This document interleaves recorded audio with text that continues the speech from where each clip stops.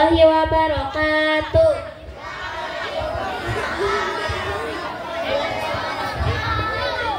Kami akan memadamkan kisah Sang Rasul. Rohatil